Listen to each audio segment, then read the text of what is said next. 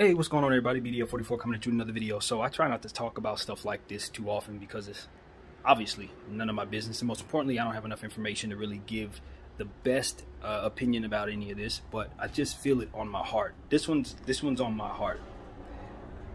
Kanye West and Kim Kardashian are going through their situation, divorce situation, trying to amic amicably, um, you know, co-parent.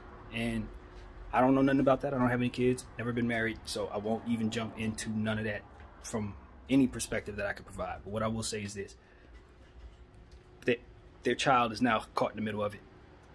Uh, she posted something online. I'm sure she had a lot of help, obviously, but she had her mouth covered up and she didn't look too happy. You know what I mean? She feels like she's being muzzled.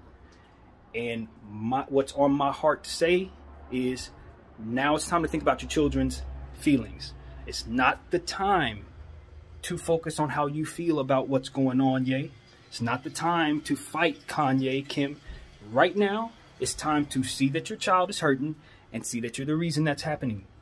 Period. She's bad enough she's going through this process of y'all splitting up.